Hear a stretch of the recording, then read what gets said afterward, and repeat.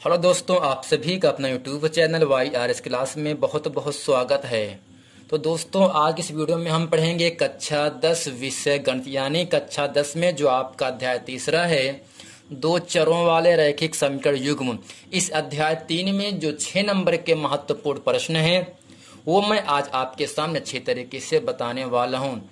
तो प्यारे बच्चों, ये जो प्रश्न है ना एग्ज़ाम में 2018 में 19 में और 20 में पूछा गया है। इसलिए एग्ज़ाम के दृष्टि से जो महत्वपूर्ण प्रश्न आपके सामने है, इसको हम अच्छे तरीके से बताते हैं। प्रश्न आपके सामने कह रहा है, दो वर्गों के क्षेत्रफलों का योग 117 मीटर स्क्वायर है। यदि इनके परिमापों का अंतर 12 मीटर हो तो दोनों वर्गों की भुजाएँ ज्ञात कीजिए। यानी प्यारे बच्चों, जो दो वर्ग है दोनों वर्गों का क्षेत्रफलों का जो जोड़ है, योग है, वह दिया है 117 मीटर स्क्वायर। यानी इसमें जो दो वर्ग हैं तो हम समझ लेते हैं किसे कहते हैं वर्ग। ऐसी आकृति, जिसके चारों भुजाएँ बराबर हों और प्रत्येक कोण नब्बे अंश के हों, उसे कहते हैं वर्ग। यानी यहाँ पर दो वर्ग हैं और दोनों वर्ग की जो भुजाएँ हैं वो अलग अलग हैं। यानी बगैर भुजा को माने क्षेत्रफल हम निकाल नहीं सकते हैं। इसलिए मैंने आपके सामने माना माना दोनों वर्गों की भुजाएँ यक्स और वाई यानी जो पहला वर्ग है, उसकी भुजा यक्स माना, जबकि जो दूसरा वर्ग है, उसकी भुजा मैंने माना वाई अब ये कह रहा है, दोनों वर्गों के क्षेत्रफलों का योग। तो नीचे लिखेंगे, दोनों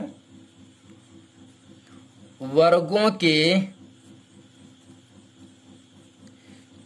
क्षेत्रफलों का योग आपको दिया है 117 मीटर स्क्वायर। अब ये ध्यान देना प्यारे बच्चों, जो पहला वर्ग है इसकी भुजा यक्स जब इसका हम वर्ग कर देते हैं, वह आपका क्षेत्रफल हो जाएगा। तो यानी यक्स का वर्ग यक्स स्क्वायर, वाई का वर्ग, वाई स्क्वायर, यानी दोनों वर्गों का क्षेत्रफल हो गया, लेकिन योगफल कह रहा है ना तो बीच में लगा देंगे प्लस का निशान। बराबर दिया है 117 अब करते क्या है प्यारे बच्चों, इसे हम समीकरण नंबर एक मानेंगे। अब इसके बाद कह रहा है, यदि इनके परिमापों का अंतर 12 मीटर हो तो प्यारे बच्चों, आपको ध्यान देना है, जो वर्ग, जो सूत्र होता है, वर्ग का परिमाप का सूत्र होता है, चार गुड़े भुजा। यानी इनके परिमापों का अंतर कितना दिया है? 12 मीटर दिया है तो यहाँ पर फिर लिखेंगे, दिया है दिया है वर्गों के परिमापों का अंतर परिमापों का अंतर। कितना दिया प्यारे बच्चों? वो आपको दिया है 12 मीटर। और आपको यह भी याद रखना है, जो पहला वर्ग का भुजा कितना है? एक्स इसका परिमाप क्या होगा? चार गुड़े भुजा चार एक्स दूसरी भुजा क्या है वाई तो चार गुड़े वाई चार वाई दोनों का अंतर अंतर का मतलब ऋण का निशान, योगफल का मतलब प्लस का निशान, बराबर दिया है बारह। अब करते क्या है? चार यहाँ चार यहाँ, चार के पहाड़े में बारह आता है। तो चार इन दोनों पद में हम क्या लेते हैं? कॉमन ले लेंगे। तो चार कॉमन लिया। तो एक्स माइनस वाई बराबर बारह। तो चार के पहाड़े में बारह, तीन बार पे आएगा, चार तिहाई बारह तो यक्स माइनस वाई बराबर आपको मिल गया तीन। अब करते क्या है प्यारे बच्चों यहाँ से? यक्स का मान निकालेंगे तो यक्स बराबर तीन, माइनस वाई ये क्या है? बराबर के बाएँ तरफ़ है, ले जाएँगे दाएँ तरफ़। जब कोई संख्या हम पक्षांतर करते हैं, तब उनके चिन्हों में परिवर्तन हो जाता है। माइनस वाई बराबर के बाएँ तरफ़ है, दाएँ तरफ़ लेके जाएँगे तो प्लस वाई हो जाएगा। इसे समीकरण नंबर हम क्या मानेंगे? दो मानेंगे। तो यानी यहाँ से प्यारे बच्चों, मैंने किया क्या? यक्स का मान निकाला। जब यक्स का मान निकाला, वही यक्स का मान समीकरण नंबर एक में रखेंगे और इसे वर्ग कर देंगे। तो यहाँ से जो पूरा फॉर्म वाई में आ जाएगा वाई का मान हम निकालेंगे, वही आपका आंसर हो जाएगा। तो लिखते क्या है इसके आगे? समीकरण नंबर दो का मान एक में रखने पर। तो नीचे लिखेंगे, समीकरण दो का मान, दो का मान एक में रखने पर। तो एक आपके सामने है X square plus Y square बराबर एक सौ सत्रह। तो X square plus Y square बराबर एक सौ सत्रह।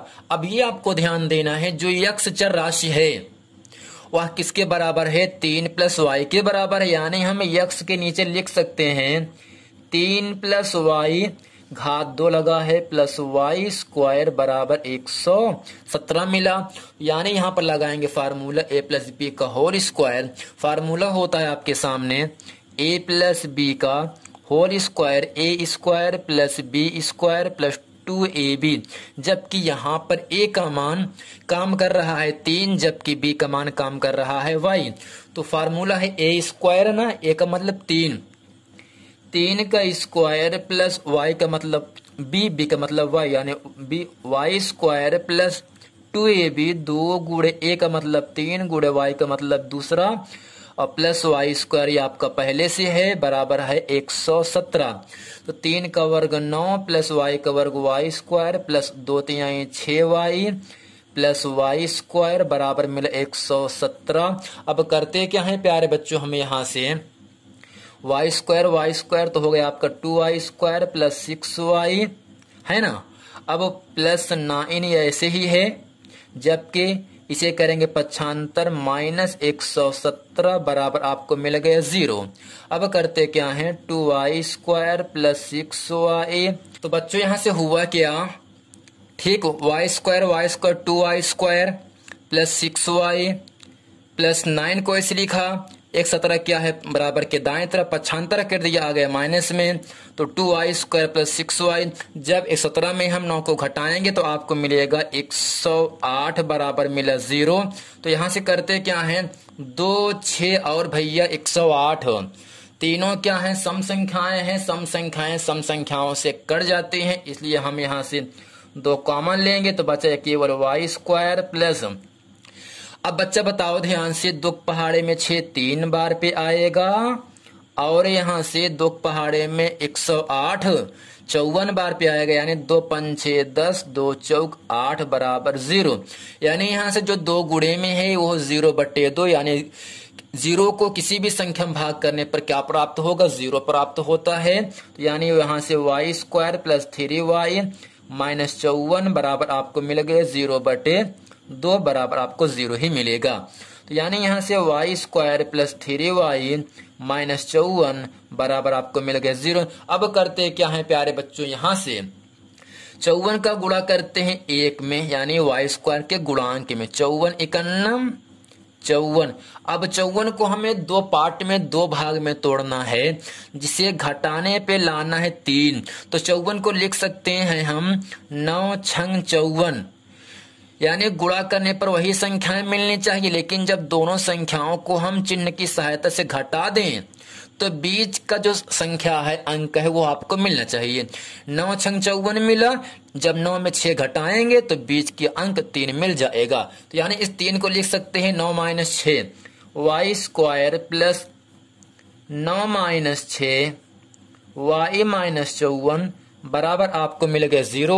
अब करते क्या है यहाँ से वाई स्क्वायर प्लस नौ गुड़े वाई में करेंगे तो नौ वाई होगा प्लस माइनस का मान छह गुड़ा वाई में करो तो आपको छह वाई माइनस चौवन बराबर आपको मिल गया ज़ीरो।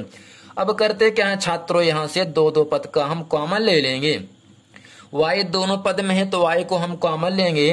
तो y कॉमन ले तो y प्लस नाइन बचा। माइनस छ कॉमन ले लो तो यहाँ से y माइनस कॉमन लेने से माइनस माइनस प्लस हो जाएगा। छेक पहाड़े में चौवन, प्यारे बच्चों, नौ बार पे आएगा, बराबर आपको मिला ज़ीरो तो y प्लस नौ वाई प्लस नौ, दोनों ब्रेकेट में लिखा, इसे लिखते हैं केवल एक बार। यानी y प्लस नौ सेकेंड में क्या होगा? y माइनस छ वाई माइनस छ बराबर आपको मिल गया ज़ीरो। यानी यहाँ से दोनों पद क्या हैं? y प्लस नौ वाई माइनस छ दोनों ज़ीरो के बराबर हैं तो इसके आगे हल करके लिखेंगे। y प्लस नाइन बराबर ज़ीरो तो y बराबर प्लस नौ का पच्छांतर माइनस नौ, आपका आंसर मिला। दूसरा है, y माइनस छ बराबर ज़ीरो तो y बराबर आपको मिल गया यहाँ से छ आपको ये याद रखना है जो भुजाएँ होती हैं, वह कभी भी ऋण में नहीं होती हैं। इसलिए y बराबर माइनस नौ आपका मान नहीं होगा y बराबर छ आपका मान होगा। तो दोस्तों, यहाँ से y बराबर माइनस नौ वाई बराबर छ ऋण संख्याएँ जो होती हैं, वो भुजाएँ कभी भी नहीं यानी जो ऋणात्मक मान होता है, वो भुजाओं को नहीं माना जाता है। जो संख्या धन में होता है, वही भुजाएँ आपको मानी जाती हैं। यानी यहाँ से y का मान छह है तो हमें x का भी मान निकालना है। तो करते क्या है, y बराबर छह, समीकरण नंबर चाहे एक में रखें, चाहे हम समीकरण नंबर दो में रखें। तो हम रख रहे हैं समीकरण नंबर दो में y का मान रखने पर। तो नीचे लिखेंगे यहाँ से, प्यारे बच्चों, y बराबर छ समीकरण दो में रखने पर दो आपका है, x बराबर तीन प्लस वाई तो x बराबर तीन प्लस वाई का मान छ है तो आपको मिलेगा यानी यहाँ से नौ। यानी प्यारे बच्चों, जो जो पहली भुजा है वर्ग की, वो आपके सामने निकला कितना? नौ मीटर, जबकि जो दूसरी भुजा है वाई वाई का मान आपको निकला यहाँ से छ मीटर। यानी तो नीचे लिखेंगे प्यारे बच्चों, अतः पहली भुजा यक्स बराबर नौ मीटर, दूसरी भुजा वाई बराबर छ मीटर, यही एक्स और वाई का उत्तर हो जाएगा। तो प्यारे बच्चों उम्मीद करते हैं ये पूरा वीडियो आपको अच्छे तरीके समझ में आ गया होगा। यदि ये वीडियो समझ में तो वीडियो को लाइक करें कमेंट करें। यदि आप इस चैनल पर नए हैं तो इसे आप ज़रूर सब्सक्राइब कर लें ताकि आने वाला वीडियो आप तक आसानी से मिलता रहे। यदि आपने इसके पहले का वीडियो नहीं दे, नहीं देखे हैं तो नीचे लिंक दिया है उस वीडियो को देख लें ताकि वो सभी प्रश्न वीडियो आपको अच्छी तरीके से समझ में आ जाए। मिलते हैं अगले वीडियो में। तब तक के लिए थैंक यू